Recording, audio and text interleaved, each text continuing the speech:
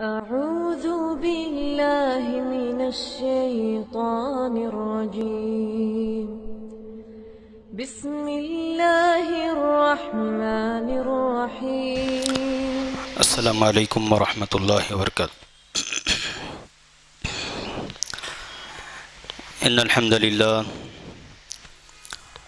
نحمده ونستعینه ونستغفر ونعوذ باللہ من شرور أنفسنا ومن سیئات أعمالنا من يهده الله فلا مضل له ومن يضلل فلا هادي له وأشهد أن لا إله إلا الله وحده لا شريك له وأشهد أن محمدا عبده ورسوله.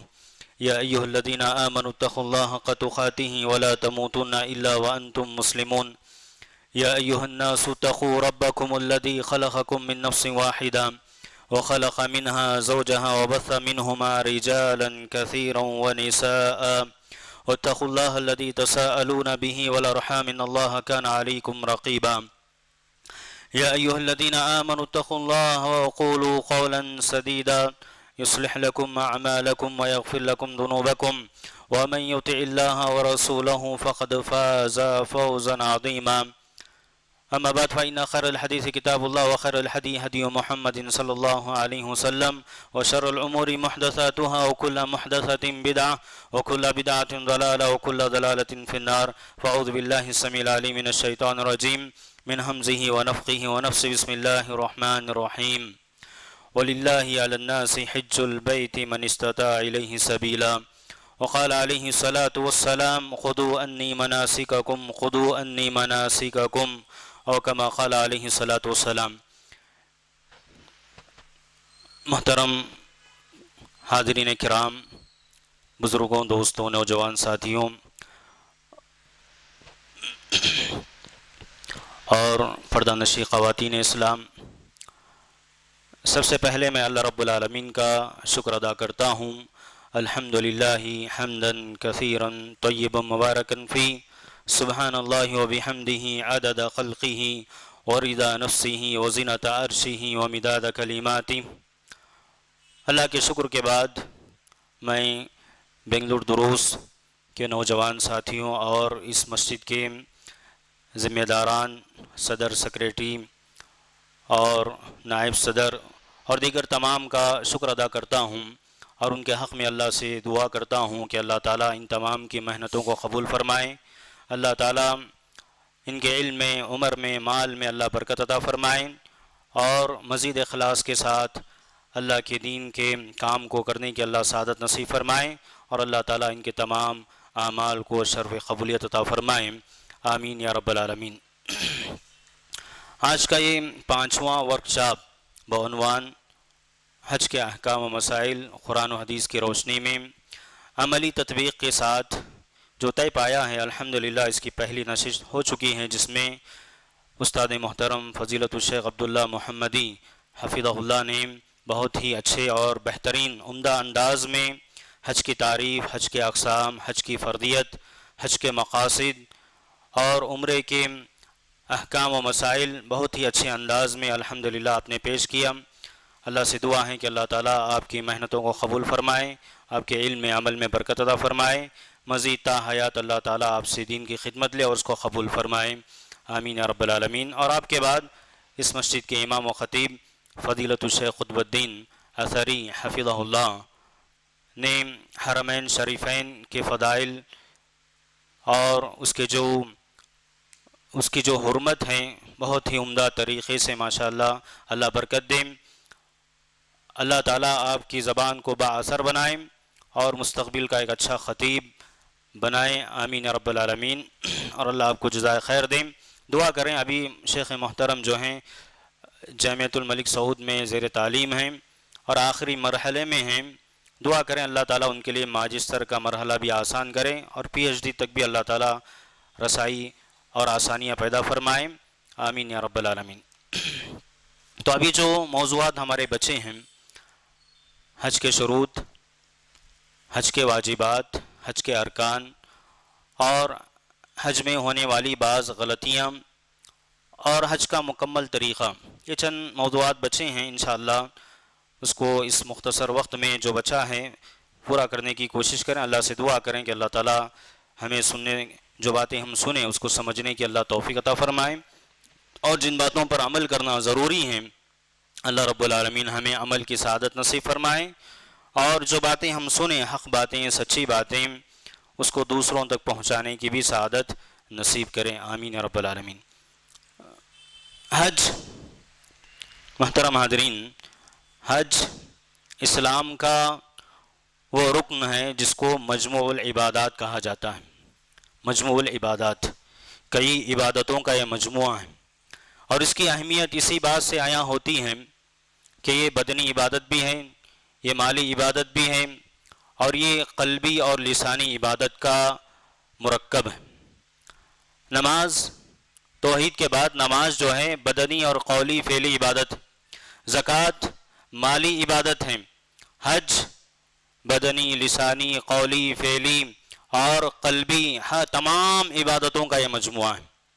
اور اسی طرح اسلامی عبادات کا اگر ہم سرسری جائزہ لیں تو حج عمرے کی جو فردیت ہے اس کو جو اللہ نے فرض کیا، پوری شریعت کے مکمل ہونے کے بعد، تقریباً اسلام کے وہ چاروں ارکان اور اس کے علاوہ جو فرائض، واجبات ہیں، اس کے بعد اللہ کے نبی صلی اللہ علیہ وسلم کی آخری، زندگی کے آخری مرحلے میں اللہ نے حج کو واجب کیا۔ گرچہ کے اختلاف ہے، بعض علماء نے کہا چھ ہجری میں واجب ہو چکا تھا، پھر نو ہجری میں اللہ کے نبی صلی اللہ علیہ وسلم نے ابو بکر صدیق رضی اللہ تعالیٰ عنہ کو امیر حج بنا کر آپ نے روانہ کیا تھا اور دس ذیل دس ہجری میں پیارے نبی صلی اللہ علیہ وسلم نے اپنا حج مکمل کیا تھا حجت الوداع کے نام سے جو مشہور و معروف۔ اور حج کا منظر اپنی کیفیت میں دیکھیں، کیفیت کے لحاظ سے ایک ایمان پرور، تقوی آموز اور ذہن و قلب ذہن و قلب کی جو ہے حضوری کا باعث ہے۔ وہ پرکیف منظر وہ ایمانی منظر صرف لبیک کی صدا سن کر ایک مومن کا ایمان جاگ جاتا ہے۔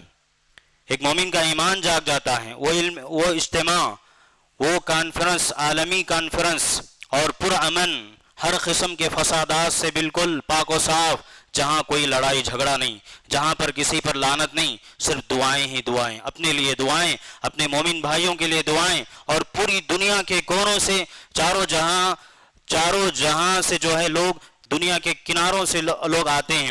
جن کا کلمہ ایک، جن کا لباس ہے جن کا نعرہ ایک، جن کا معبود ایک، کعبۃ اللہ ایک، جن کے رسول ہے جن کا قرآن ایک، جن کا کلمہ ایک، صدائیں بلند کرتے ہوئے آتے ہیں۔ اور یہ جو منظر، یہ کانفرنس پوری دنیا کی قومیں مل کر اس طرح کی کانفرنس منعقد نہیں کر سکتی۔ چیلنج ہے قیامت تک۔ کوئی ایسے پرامن کانفرنس قائم کر کے بتائیں۔ اللہ یہ کہ جو فسادات دو سال پہلے ہوئے یا اس سے پہلے بھی جو آدائے اسلام نے کیے ہیں، اللہ اس کا محافظ ہے انشاءاللہ۔ جو انہوں نے کیے ہیں، اللہ ان کو، دنیا میں بھی اللہ ان کو سزا دے گا اور آخرت میں تو دردناک عذاب ان کے لیے تیار اللہ نے کر کے رکھا ہے۔ پھر بھی اللہ جزائے خیر دے سعودی حکومت کو، وہاں کے حکمرانوں کو، وہاں کے علماء کو، وہاں کے عوام کو، تمام کے اتحاد سے جو سیفٹی جو حفاظت حجات بیت اللہ کے لیے عطا کی جاتی ہیں، دی جاتی ہیں، دنیا کی کوئی حکومت ایسا انتظام نہیں کر سکتی۔ یہ چیلنج پوری قوم کے لیے چیلنج پورے سماج اور پورے ممالک کے لیے چیلنج اور تاریخی انسانیت میں دیکھیے، ایسا اجتماع گزشتہ تقریباً چار ہزار سال سے جو ہے، ابراہیم علیہ السلام ابو الانبیاء کی سنت کو تازہ کر رہا ہے۔ اور گزشتہ تقریباً چودہ سو سینتیس سال سے یہ آفاقی اور اجتماعی عمل جو ہے پیارے نبی صلی اللہ علیہ وسلم کے مسنون طریقے پر جو ہے انجام پا رہا ہے۔ اسی مناسبت سے جو ہے یہ ورکشاپ منعقد کیا گیا حج کی مناسبت سے، تاکہ ہم کتاب و سنت کی روشنی میں پیارے نبی صلی اللہ علیہ وسلم کا جو حج کا طریقہ تھا، جو طریقہ اللہ کے نبی نے صرف کہہ کر نہیں بلکہ عمل کر کے اللہ کے نبی صلی اللہ علیہ وسلم نے بتایا، حج کے شروط، اس کے ارکان، اس کے واجبات، اس کے سنن، چھوٹی چھوٹی چیزیں اللہ کے نبی صلی اللہ علیہ وسلم نے بتائی۔ قبل اس کے کہ ان چیزوں کو میں ذکر کروں، مختصر طور سے جو ہے، سب سے پہلے میں کچھ آداب کا ذکر کروں گا، جس کا پاس و لحاظ رکھنا ایک حاجی اور عمرہ کرنے والے کے لیے ضروری ہے۔ سب سے پہلے چیز اللہ رب العالمین کی رضا اور اس کی خوشنودی اللہ رب العالمین کی رضا اور اس کی خوشنودی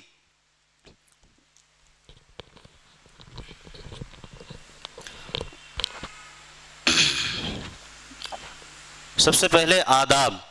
آداب میں پہلی چیز میں بتا رہا ہوں کہ اخلاص۔ اخلاص سے نیت کا ہونا ضروری۔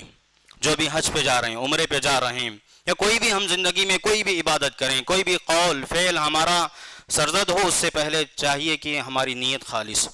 اللہ نے اسی بات کا حکم دیا ہے تمام بندوں کو۔ وما امروا الا ليعبدوا الله مخلصین له الدین تمام کو دین کو خالص کرتے ہوئے اللہ کی عبادت کرنے کا حکم دیا گیا ہے۔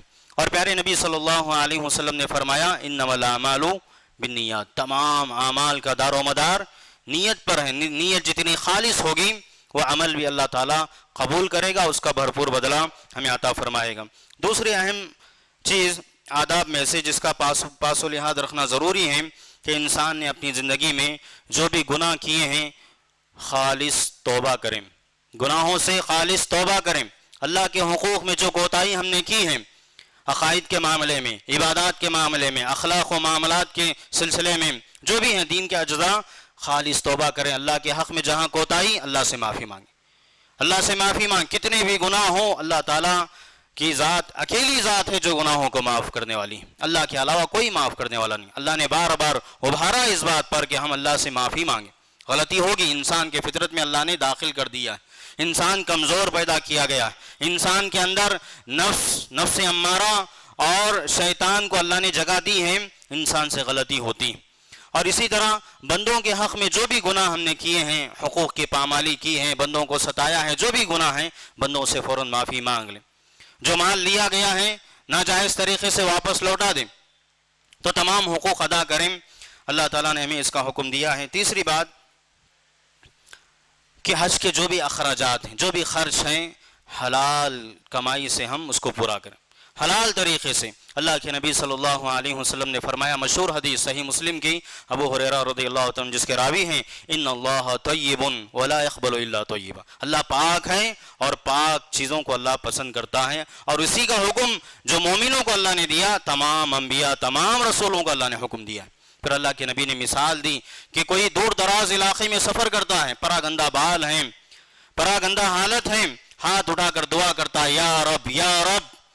ومطعمه حرام، ومشربه حرام، وغضي بالحرام، وملبسه حرام، وغضي بالحرام، فعنا يستجاب لذلك. پیارے نبی صلی اللہ علیہ وسلم نے فرمایا کہ اتنی حالت دیکھیے کیسے دور دراز علاقے کی طرف سفر ہیں، پراگندہ بال ہے التجا ہے اللہ سے، التماس ہے مجبوری کی کیفیت بالکل ظاہر ہے، پھر بھی، لیکن اس کا کھانا، اس کا پینا، اس کا لباس اور اس کا پورا جسم حرام طریقے سے اس کی پرورش ہوئی ہیں۔ تو پیارے نبی صلی اللہ علیہ وسلم نے بتایا، سوالی انداز میں، فَأَنَّا يُسْتَجَابُ لِذَلِكِ۔ اللہ کیسے قبول کرے گا؟ اللہ قبول نہیں کرے گا، تو یہ عظیم عبادت جس کے لیے ہم جا رہے ہیں، یا جانے والے ہیں، یا آگے بھی ہم نے پلاننگ کی ہے، اللہ سے دعائیں کی ہیں، اہتمام کیا ہے، تو ہم حلال کمائیں، حلال پیسوں سے کریں، ورنہ حرام اللہ قبول نہیں کرے گا۔ چوتھی اہم بات یہ ہے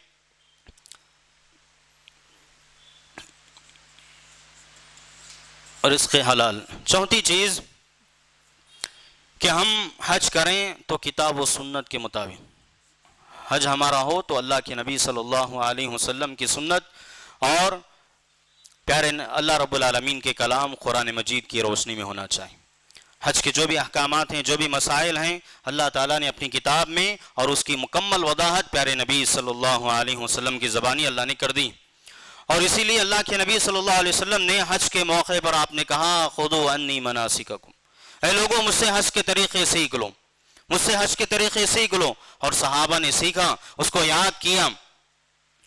اس کو یاد کیا۔ حدیث جابر رضی اللہ تعالیٰ جابر رضی اللہ تعالیٰ عنہ نے جب سے اللہ کے نبی مدینے سے نکلے گھر سے، پورا مکمل آپ نے ذوالحلیفہ سے آپ نے احرام باندھا، پھر آپ مکہ گئے، وہاں جا کر تمام ارکان واجبات سنن ادا کر کے پھر واپس لوٹے مدینہ۔